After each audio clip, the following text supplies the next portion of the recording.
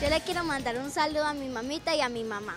Un saludo para mi madre, que la quiero mucho, que le debo este grado a Dios y a ella, que gracias por ser un gran apoyo en mi vida y que mi Dios me la bendiga, que me le dé vida y salud, que me la llene de bendiciones y muchas gracias, que la amo mucho.